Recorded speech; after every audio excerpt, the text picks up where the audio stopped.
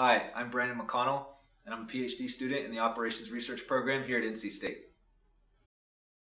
Yeah, so the first thing is really NC State has a standalone OR program, that's kind of unique. So OR is not part of the ISE program, it's not part of math, it's, it's interdisciplinary, and that affords a lot of benefits to students and a lot of freedom to pick and choose the skill set you want. Triangle's been up and coming for a while. If you look at national publications, or number uh, number one in per capita graduate degrees in young people, and number two in number of tech startups, second only to Silicon Valley. So it's a happening place.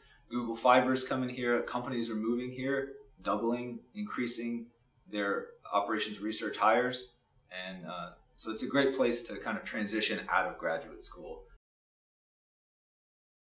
what we're doing is taking real-time data and fi finding out how do we use this to plan military logistics uh, in areas where we're, we're, in expeditionary operations. We're operating in very austere environments, no infrastructure or little infrastructure to support the troops, and lots of uncertainty.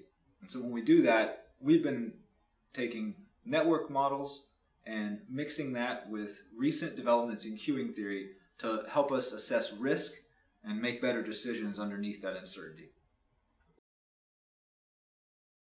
You get access to so many professors with different backgrounds, different disciplines, and not being part of one department really helps you get exposed to lots of realistic problems. And so you're using and merging multiple techniques to solve problems, and I think that's not only broadens your skills as a graduate student, but it really sets you up well for working, you know, after school.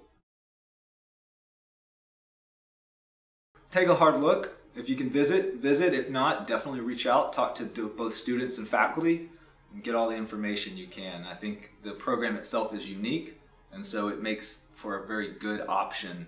If you're interested in operations research here at NC State, reach out. We'll be happy to help you.